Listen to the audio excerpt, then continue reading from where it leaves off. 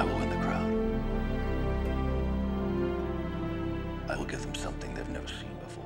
All right, everybody, welcome to the Lion's Den, and we're going to play our first ever YouTube war, the game of Rome, Fall of the Empire, created by Johnny Galvez. And uh, obviously, I've blown this out of proportion. The map you get is quite a small map, and uh, this is a 4x8 map. But you know what? I wanted to have some fun, as you can see. So, just to go over before we go into both the Western Roman Empire and the Eastern Roman Empire turn sequence. Just going to go over a few things of what I've done.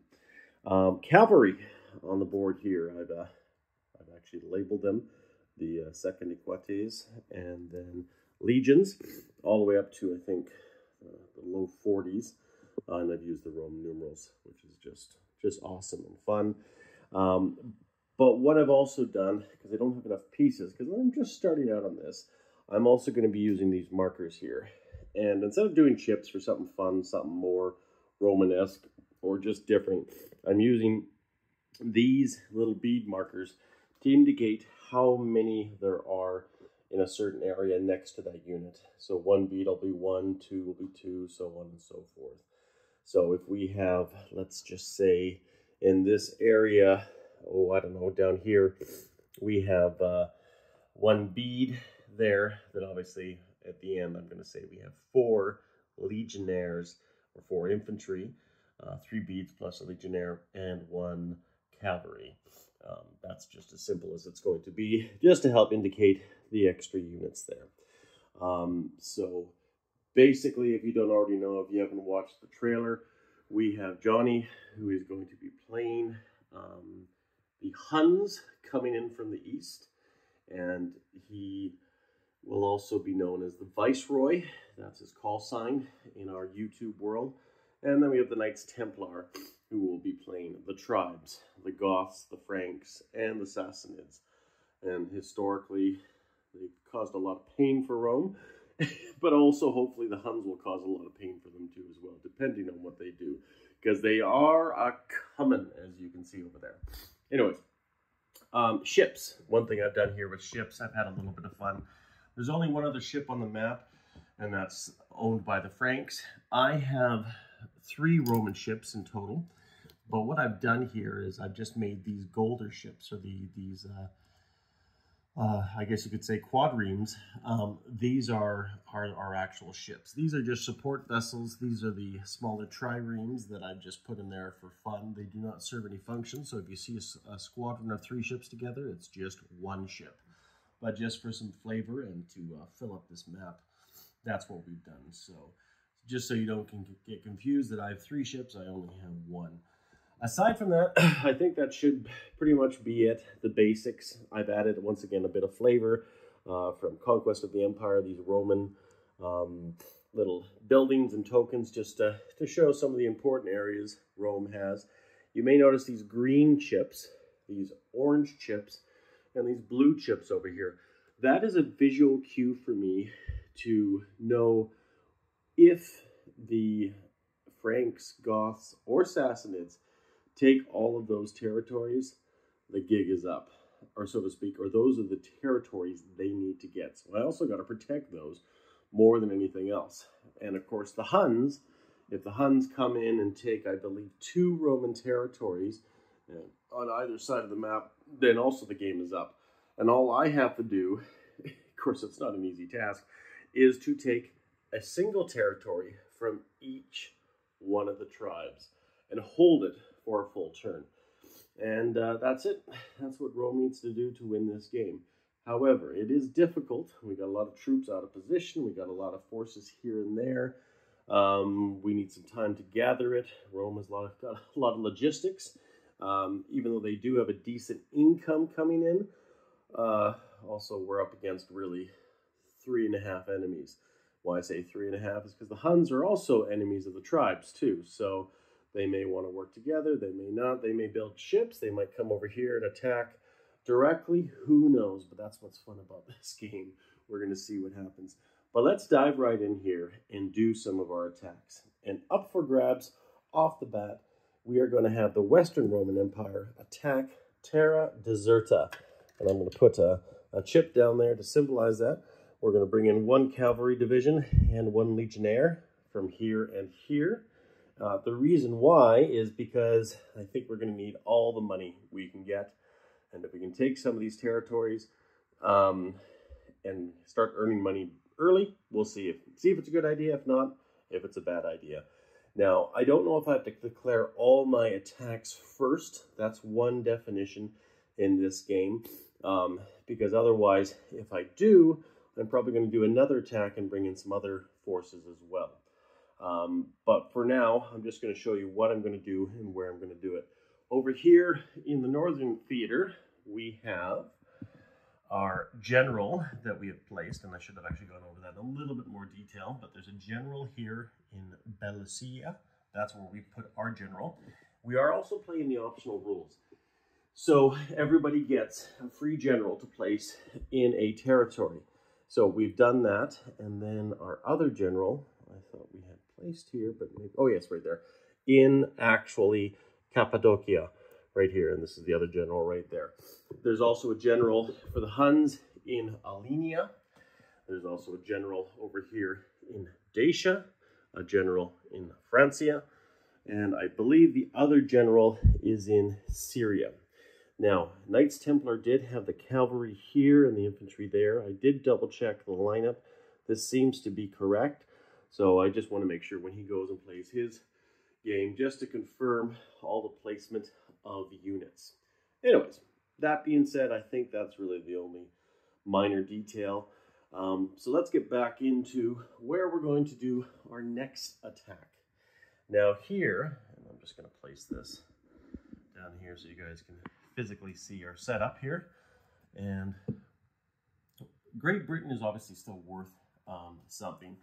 And currently, right now, if I leave that unprotected, uh, I worry about the Franks coming over there with um, one of their ships and nabbing some territory. So that's obviously not very good. So what we're going to do in the meantime is we're going to move this ship up right here, which is just one ship, once again, kind of act as a little bit of a buffer up against that other ship there uh, that you can see over here in Sea Zone 3. And then what we're going to do is we're going to go on the offensive. The 3rd and 1st Roman cavalry divisions are going to go into Germania. And I should probably just move this a bit off screen so you guys can see what's going on. And we are going to attack Germania Inferior with what we have here as well as our um, uh, general. Gosh, if I could speak this morning, that would be amazing. Um, that will conclude our attacks here in these areas. Everything else we're going to leave for now. Now, my second question is, and I can always commit to the battle early, but if I'm successful in this battle, cavalry can go attack into a second zone, and that's where I'd like to bring in this Legionnaire down here to do that as well.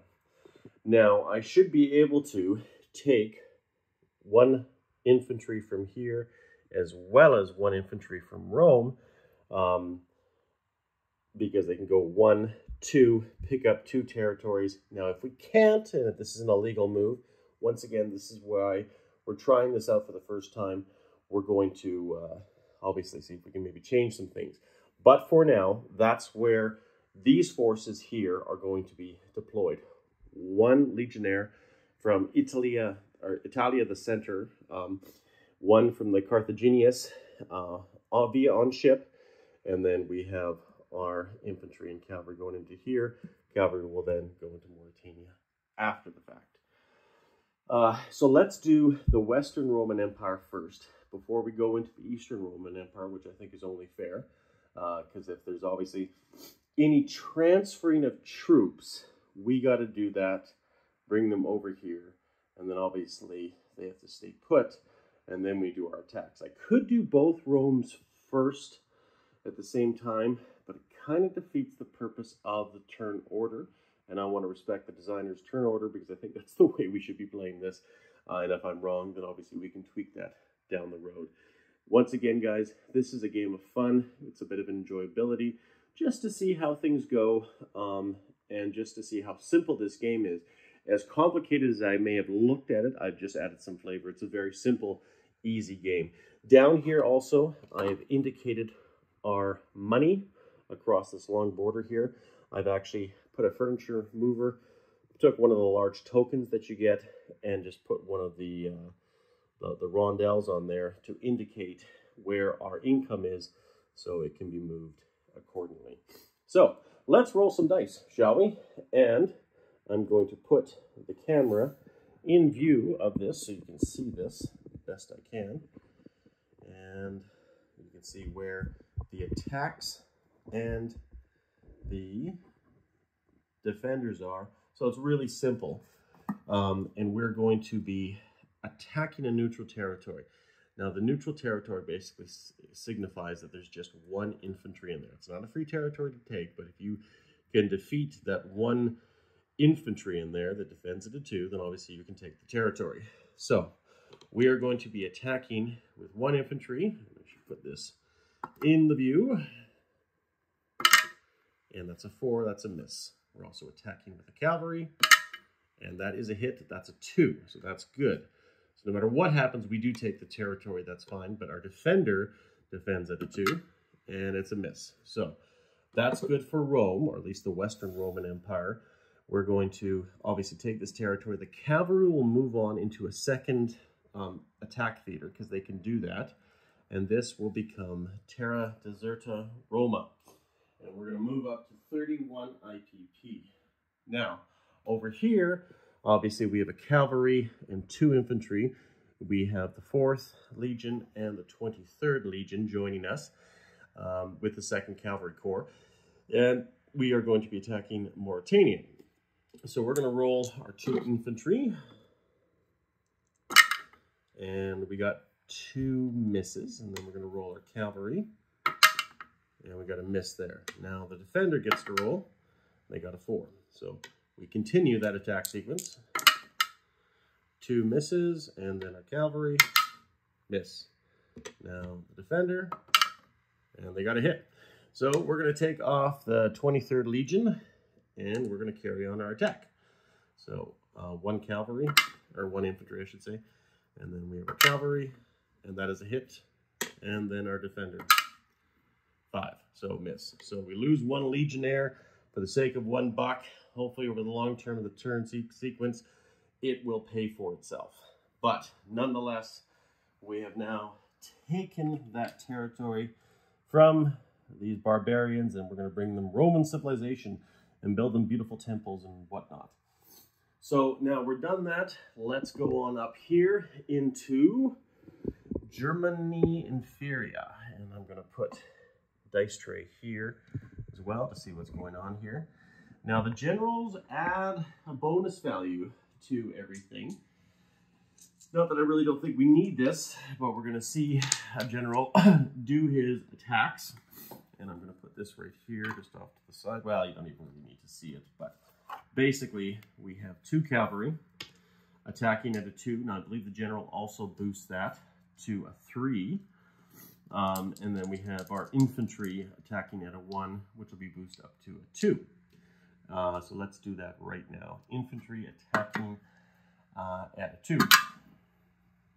Two cavalry attacking at three. Two misses. And I believe we also have the general himself attacking at a two, which is a hit, um, which makes sense. Um, and then we obviously have one infantry defending there, and that's a six. So no go. We have now take, taken Germany Inferior. So now, for the loss of one legionnaire, we've already made that up in IPP. So we are now officially going to take these territories here, move our cavalry, move our general in here, and see what happens next. Now, strategically, this may not be a good idea, but I've thought about this process a little bit, thinking how this will go, how and where the Franks will attack next, and what they're going to. Um, so once again, we'll see if they don't take the bait, and I won't won't say that, or maybe they will take the bait. Um, and uh, I might suffer accordingly, or maybe I might not. Now, we have done all of this. We've done our attack sequences. Um, now we're going to do movements. So we are going to move this one infantry, the um, 15th Legion from Britannia Secutius down to Britannia uh, Prima. And then over here, we're going to move our units out of Rome, as much as, it, as, as important as it is. We're going to have five legions. So we're going to move five legions um, the max distance they can go. Now they're going to go three, or actually I should say four, are going to go north into Venetia, and they can only go one spot um, north, and then the other one is going to go to Apamelia. So we got four legions heading north. Now the Senate is not happy with this. They're all squabbling and blah, blah, blah, blah, blah. You can't leave Rome undefended. Well, right now, I don't think anything's going to happen to Rome. So that's, uh, that's our battle plan there. And then over here in the eastern part of the empire, we are going to move. Um, we are going. Oh, it's a toughie. It's a toughie. But we are going to move our first onager corps. Um, we're going to move our first onager corps into Moesia. Now keep in mind, these got to be um, kept separate for color and whatnot, right? So when we have this situation here, and we're also going to move one legionary here um, into this area up from the Dalmatian coast. Um, so that is going to be indicated by, I'm going to grab these markers just for now while they're in foreign territory.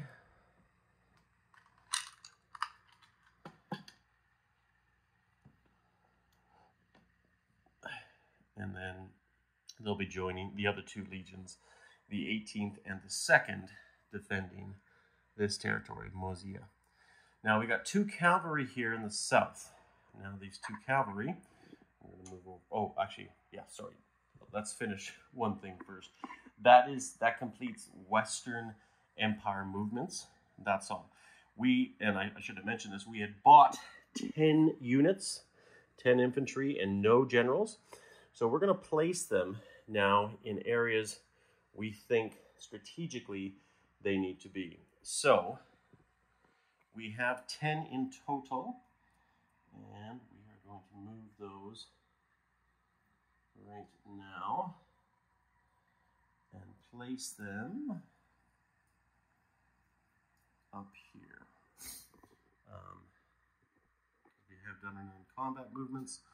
So we're going to land the 28th Legion in Pannonia. So that's one more there. We're also going to land the 23rd Legion in Pannonia there.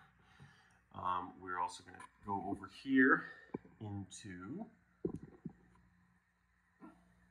Germany Superior. Sorry, I just want to make sure you guys are in the scene. And we're going to put one legion there with the one that's already existing. One more, so we have a total of three. And then we're going to have four. And then we're going to have five. Then we're going to take two legionnaires and put them in Retafia, I believe, with a total of three in total. So, just so we're all on the same page, there is now officially two cavalry and infantry and a general in German Inferior, five legionnaires in uh, the southern territory below it. We also have three units here in Rafta. We have four moving up into Venetia. We have one solely in Noricum. We have one here in Alemia, and then we have three over in Pannonia. And then, of course, we've moved up one infantry and one onager into this territory to help out the Eastern Romans. Now we move on to collect income phase, and we're going to go over here to our treasury, And we are successful enough. We'll grab three gold coins plus, um, plus uh, the silver, which are going to be three individuals. And that's going to be 33 bucks for the Western Roman Empire. And that's going to go into their treasury for now. And then we're going to move on once again. We have bought 10 units with the $30 that they have here. Now I just made a mistake. Sorry, I forgot to place two more, two more, inf or two more legionnaires because I did buy a total of 10 onto this map.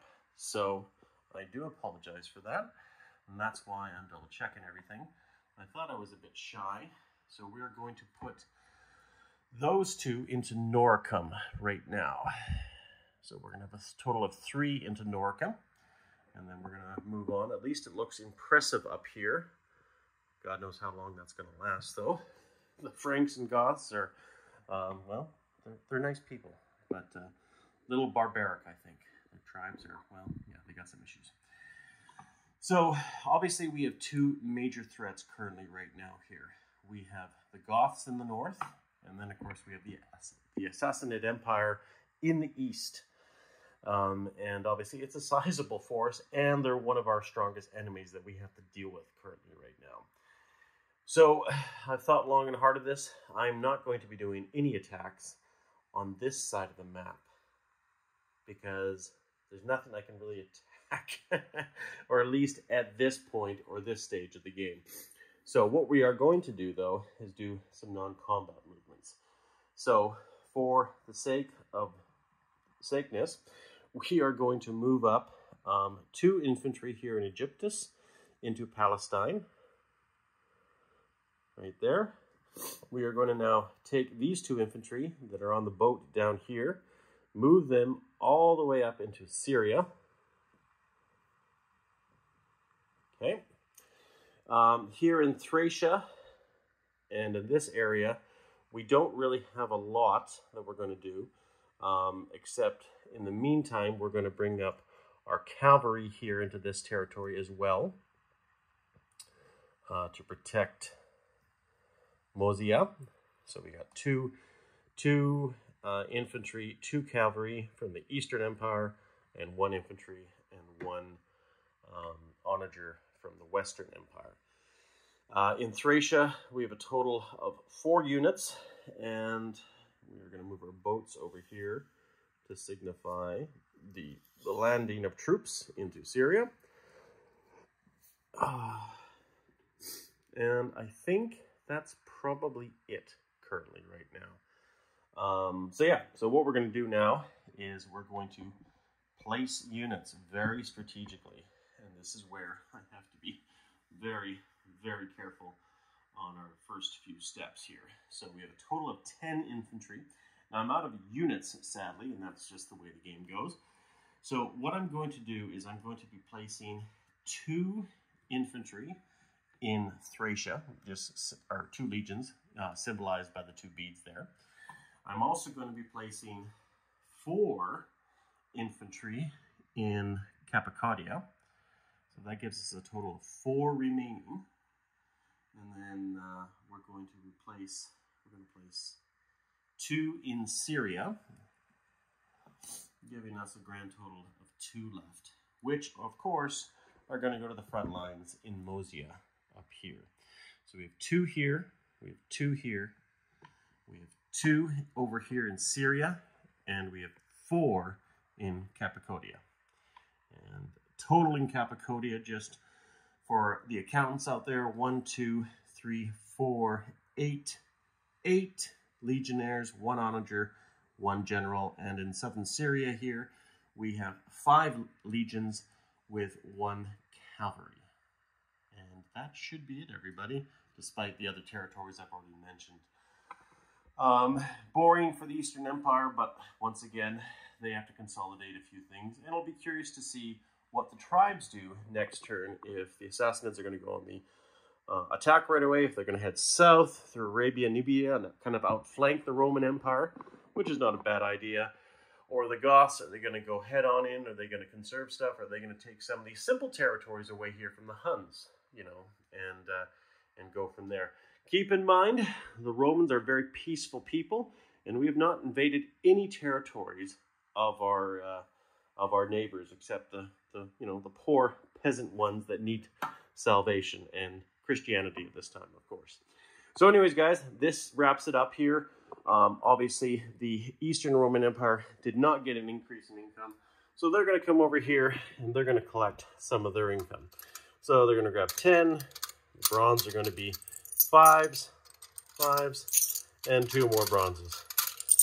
Cleaning out our treasury of gold and bronze, but nonetheless, now this goes into their treasury. And that's it, guys. 25 minutes later, we've gone through our first turn.